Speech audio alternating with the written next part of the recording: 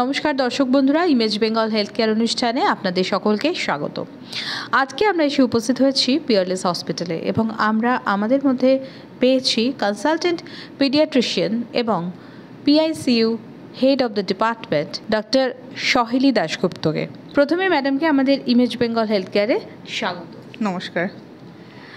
আজকে যে বিষয় নিয়ে আমাদের আলোচনা সেটা কিন্তু অত্যন্ত একটা প্রাসঙ্গিক বিষয়। সেটা হচ্ছে যে, একজন শিশুর যদি হঠাৎ করে কোনো সমস্যা হয়, তাহলে কিন্তু মা বাবারা ভীষণভাবে উদ্বিগ্ন হয়ে পড়েন। সেই শিশুটিকে নিয়ে তারা কি করবেন? কোথায় যাবেন? বাড়িতে রাখবেন? না ডাক্তারের বাবুর কাছে নিয়ে যাবেন? না হাসপাতালে ভর্তি করবেন? এই সমস্ত নিয়ে বাবা মারা কিন্তু যথেষ্টই চিন্তায় থাকেন। এই রকম পরিস্থিতিতে বাবা মাদের কি করা উচিত? কীভাবে সেই শিশুটিকে সঠিকভাবে চিকিৎসার পথে নিয়ে যাওয়া দরকার, সেই বিষয়টি নিয়েই আজকে আলোচনা। যে আপনার শিশু হঠাৎ করে অসুস্থ হয়ে পড়লে কি করবেন? প্রথমত বয়সের প্রসঙ্গে আসি যে কোন বয়সে শিশুদের কি কি লক্ষণ দেখলে তাদেরকে অবিলম্বে হাসপাতালে নিয়ে আসা দরকার। পিআইসিউ মানে পিডিয়াট্রিক ইন্টেন্সিভ কেয়ার ইউনিট বা পেডিয়াট্রিক ক্রিটিক্যাল কেয়ার ইউনিট। যে বাচ্চারা হঠাৎ ক্রিটিক্যালি অসুস্থ হয়ে যায়, তাদেরকে আমরা পিকুতে ভর্তি করতে হয়। অনেক সময় এমার্জেন্সি থেকেও ডিরেক্ট ভর্তি হয় বা ওয়ার্ড থেকেও আমাদের কাছে আসে। আমাদের পিকুতে দু মাস থেকে পনেরো বছরের বাচ্চা ভর্তি থাকে। মোস্ট কমন যেটা আমরা পাই সেটা হলো বাচ্চাদের যেটা ছোট মানে ধরুন এক বছরের নিচে যে সময়, দু মাস থেকে এক বছরের যে টাইমটা এই সময় বাচ্চারা আসে অনেক সময় খিচুড়ি নিয়ে। দেখা যায় হয়তো অনেকক্ষণ ধরে বাচ্চার খিচুড়ি হচ্ছে বা অনেক হাই ফিভার হচ্ছে, সে বাচ্চা রেসপন্ড করছে না, তখন মা বাবারা আমাদের কাছে নিয়ে আসে। অনেক সময় বাচ্চাদের যেটা হয়, ধরুন কিছু ফরেন বডি মানে ধরুন কোনো হয়তো কোনো ফল বা কোনো ব্যাটারি এনিথিং সেটা হঠাৎ খেয়ে নিল বা অনেক সময় বাচ্চাদের একটা টেন্ডেন্সি থাকে অনেক নাকের মধ্যে ঢুকিয়ে দেয়। সেই জিনিসগুলো অনেক সময় বাচ্চারা আমাদের কাছে এমার্জেন্সিতে আসে। স্নেক বাইট আমাদের কাছে আসে স্করপিয়ান বাইটের পেশেন্টস আসে। অনেক সময় এরকমও নিয়ে আসে যে বাচ্চা হঠাৎ হয়তো খাট থেকে পড়ে গেছে। তো এইসব কারণ বাচ্চাদের হঠাৎ পড়ে গেলে তার যদি ভেতরে ভেতরে রক্তক্ষরণও হয়, অনেক ইনিশিয়ালি বোঝা যায় না। তো বাচ্চা যদি রেসপন্ড না করে, তখন মারা নিয়ে, মা বাবারা নিয়ে আসেন। তো এই, এইগুলো মোস্ট কমন আমাদের কাছে আসে। ডেঙ্গু, আমাদের আগের বছর যেটা ডেঙ্গু প্রচুর বাচ্চা খারাপ হয়েছিল এবং সিভিয়ার ডেঙ্গু নিয়ে আমাদের কাছে এসেছে। কিছু কমপ্লিকেটেড ম্যালেরিয়া পেশেন্টসও পেয়েছি আমরা সেই সময়। এবং আরেকটা হলো কমপ্লিকেটেড টাইফয়েড সেটা নিয়েও কিন্তু বাচ্চারা আমাদের পিকুতে ভর্তি। বুকে সর্দি বসে যাওয়া বা নিউমোনিয়ার ক্ষেত্রে কতটা পর্যায় পর্যন্ত বাবা মাকে সতর্ক থাকতে হবে এবং কোন অবস্থায় তাকে চিকিৎসকের কাছে আবারও দ্রুত নিয়ে আসতে হবে? এটার ক্ষেত্রে বলি, আমাদের কাছে জেনারেলি দু রকমের বাচ্চা আসে শ্বাসকষ্ট নিয়ে। একটা হলো যাদের প্রি এক্সিস্টিং একটা শ্বাসকষ্টের প্রবলেম থাকে, যেটা আমরা অ্যাজমা বলি। অনেক বাচ্চাদের এরকম হয়, মাঝে মাঝে সর্দি কাশি যখন হয়, শ্বাসকষ্ট হয়, তখন ইনহেলার্সের প্রয়োজন লাগে। আর একটা বাচ্চা এরকম হয় যে হঠাৎ একটা ভাইরাল ইনফেকশন হলো, সর্দি কাশি হলো, তারপর হঠাৎ শ্বাসকষ্ট হচ্ছে। তো আমি দুটো ক্ষেত্রেই প্যারেন্টসদের এটাই বলি যে কখনোই এরকম করা উচিত না যে বাচ্চাকে হোম ট্রিটমেন্ট করবেন না। সবসময় একজন পিডিয়াট্রিশিয়ানের অ্যাডভাইসেই করা উচিত। যে বাচ্চাদের ধরুন প্রি এক্সিস্টিং কিছু থাকে অ্যাজমা বা এরকম শ্বাসকষ্ট থাকে, তাদের ক্ষেত্রে বাড়িতে কিছু ইনহেলার দেওয়া হয়। তো ইনহেলারে যদি কাজ না করে, আমরা সঙ্গে সঙ্গে বলি আমাদের যে বাচ্চাকে নিয়ে চলে আসতে। আর যে বাচ্চা ধরুন ফার্স্ট টাইম এরকম হলো, যে হয়তো সর্দি কাশি হচ্ছে, আমরা যেগুলো ডেঞ্জার সাইন বলি, যে না, এটা হলে সঙ্গে সঙ্গে নিয়ে আসতে হবে, সেটা হলো যদি হাই ফিভার হয়, একশো দুই বা একশো তিনের বেশি থাকছে টেম্পারেচার টেম্পারেচার কিছুতেই কমছে না, ওষুধ খাওয়ানোর পরেও। বাচ্চা কন্টিনিউয়াসলি কাফ করছে, বাচ্চা নীল হয়ে যাচ্ছে, বাচ্চা প্রপারলি শ্বাস নিতে পারছে না বা খুব জোরে জোরে বাচ্চা শ্বাস নিচ্ছে ভমিটিং হচ্ছে বা একেবারেই খেতে পারছে না। এই সাইনগুলো যখনই হবে, সেগুলো কিন্তু আমাদের ডেঞ্জার সাইন তখন কিন্তু নিয়ে আসতে হবে। এবং আমি প্যারেন্টসদের এটা বলি, অনেক প্যারেন্টসরা যেটা করেন, সেটা হলো বাড়িতে ধরুন ইনহেলার দিল ইনহেলার দেওয়ার পরে দেখা গেল জিনিসটা ঠিক হচ্ছে না, তখন হোম নেবুলাইজেশন দেয়। আমরা কোভিডকালে অনেক শুনেছি সব জায়গায় যে বাড়িতে নেবুলাইজেশন দেয়, কিন্তু আমি এটা বারবারই বলব this is only for the adults বাচ্চাদের ক্ষেত্রে কখনোই নেবুলাইজেশন উইদাউট অক্সিজেন দেওয়া উচিত নয়। ইনহেলার যে বাচ্চারা ইউজ করে, তাদের ইনহেলার দেওয়ার পর যদি দেখা যায় রেসপন্ড করছে না ইমিডিয়েটলি কিন্তু হসপিটালে নিয়ে আসতে হবে। যারা নিউবর্ন বেবি তারা তো কথা বলতে পারে না। তো স্বভাবতই দেখা যায় যে তারা কাঁদছে এবং কন্টিনিউয়াসলি কেঁদে যাচ্ছে।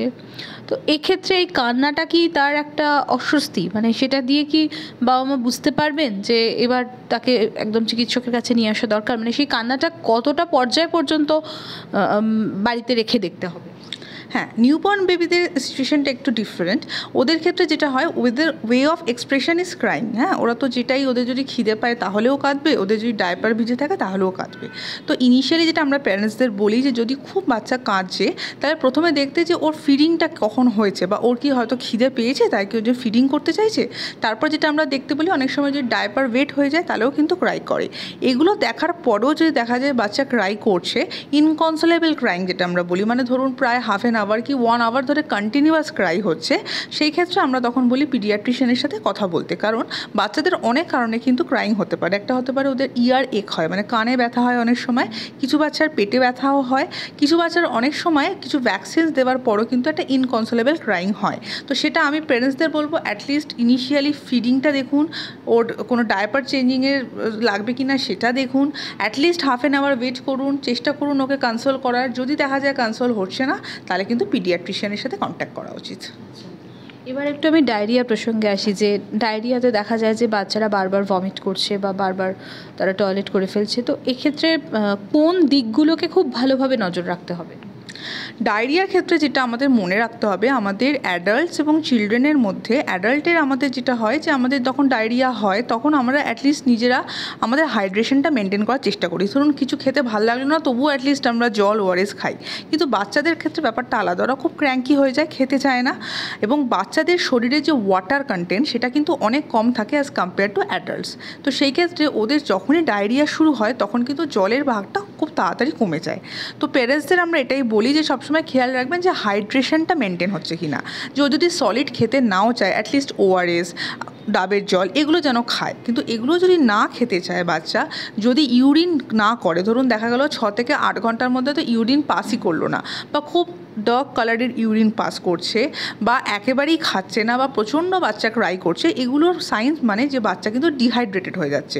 কারণ ডিহাইড্রেশনের আর্লি যখন থাকে, তখন বাচ্চারা ভীষণ ইরিটেবল হয়ে যায়। তো সেই সময় কিন্তু যদি বাড়িতে দেখা যায় যে ওআরএস দিয়ে মেনটেন করা যাচ্ছে না, তাহলে কিন্তু অবশ্যই এমার্জেন্সিতে নিয়ে আসতে হবে। আচ্ছা। নেক্সট আপনি যেটা বলছিলেন যে ফরেন বডি অর্থাৎ বাচ্চারা অনেক সময় দেখা যায় নাকে বা মুখের মধ্যে যদি কিছু ভরে নেয় এবং সেটা সে বার করতে পারছে না সেই ফরেন বডিগুলো থাকাকালীন তার যে একটা অস্বস্তি, সেটাকে বাবা মা হয়তো বারবার বার করার চেষ্টা করছেন। এই রকম পরিস্থিতিতে কী করণীয় হ্যাঁ অনেক সময় যেটা হয়, বাচ্চাদের যেটা নাকের মধ্যে অনেক সময় বাচ্চারা ফরেন বডি ঢুকিয়ে দেয়, সেটা অনেক সময় যেটা প্যারেন্টসরা নিজেরা চেষ্টা করেন বের করার। তো এটা কোন একেবারেই করা উচিত না, কারণ যেটা হয় কি, এটা সঠিক এক্সপার্টিস না থাকলে ওটা যদি বের করার চেষ্টা করা হয় আনস্কিল্ড হ্যান্ডসে তাহলে কী হবে, সেই ফরেন বডিটা কিন্তু আরও ডিপ ডাউন চলে যেতে পারে। সেক্ষেত্রে বাচ্চার আরও অসুবিধা হতে পারে। তো আমি সবসময় এটাই বলি যে যদি কোনো ফরেন বডি যদি ধরুন ইভেন আমরা ফিশ বন্যও যদি হয় সেই ক্ষেত্রেও মাছের কাটা বা কোনো নাকের মধ্যে কোনো ব্যাটারি ঢুকিয়ে দিল বা মুখে যদি কিছু ঢুকে যায় ইমিডিয়েটলি নিয়ারেস্ট যে হসপিটাল সেখানে কিন্তু নিয়ে যাওয়া উচিত। কোন কোন দিকগুলো? মানে একজন বাচ্চাকে নজর রাখা দরকার যে এই বিষয়গুলোতে বাচ্চা যদি লক্ষ্য করা যায় বা এই চিহ্নগুলো যদি লক্ষ্য করা যায় তাহলে তাকে অবশ্যই হাসপাতালে ভর্তি করা দরকার। বাচ্চাদের মোস্ট কমন যেটা হয় যখনই কোনো ইনফেকশন হয় বাচ্চাদের এনিওয়্যার মানে সেটা আপনার সর্দি কাশি হতে পারে, পাতলা পায়খানা হতে পারে, বাচ্চাদের টেম্পারেচারটা কিন্তু খুব হাই এসে যায়। ফিভার অনেক সময় যেটা প্যারেন্টসরা বলেন যে কিছুতেই ফিভার নামছে না। তো আমরা এটাই বলি যে আপনার জ্বরের ওষুধ খাওয়াবেন, আপনার পিডিয়াট্রিশিয়ান যা প্রেসক্রাইব করবে সেটা রেখে আপনি জ্বরের ওষুধ খাওয়াবেন এবং তিন থেকে চার ঘণ্টা পর পর বারবার দেখবেন যে টেম্পারেচারটা কমছে কি না অনেক সময় আমরা বলি টেম্পারেচার যদি না কমে তাহলে ট্যাপ ওয়াটার দিয়ে অনেক স্পাঞ্জও করতে বলি। কারণ বাচ্চাদের যেটা হয় টেম্পারেচার যদি খুব বেশি বেড়ে যায়, বাচ্চাদের কিন্তু খিচুনি হওয়ার প্রবণতা থাকে। তো সেই ক্ষেত্রে আমার মনে হয় যদি টেম্পারেচার দেখা যায় একশো তিন, একশো চার কন্টিনিউয়াস হচ্ছে, কিছুতেই বেস লাইন টাচ করছে না, সেই ক্ষেত্রে কিন্তু হসপিটালাইজেশন করা উচিত। বাচ্চাদের ফিডিং নিয়ে একটা প্রবলেম হয় যখন বাচ্চারা খুব ক্রিটিক্যালি ইল থাকে, বাচ্চারা খেতে চায় না।